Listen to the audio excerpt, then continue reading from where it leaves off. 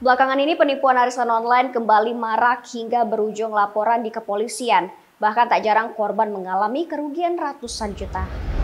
Menanggapi hal tersebut, Kabit Humas Polda Sumatera Selatan Kombes Pol Dr. Andes Supriyadi MM ditemui di ruang kerjanya Selasa 30 November 2021 mengatakan masyarakat agar lebih berhati-hati lagi dan tidak terpengaruh ataupun ikut dalam arisan online dengan iming-iming keuntungan yang besar. Supriyadi menjelaskan apabila mengetahui adanya kegiatan arisan agar segera melaporkan ke pihak kepolisian untuk ditindaklanjuti. Ia mengungkapkan pelaku arisan online biasanya menggunakan modus yakni merayu untuk mengajak korban ikut dalam arisan tersebut. Lanjut Supriyadi menjelaskan, berkaca dari kasus arisan online yang pernah ditangani oleh Polda Sumatera Selatan, semuanya berujung di persidangan.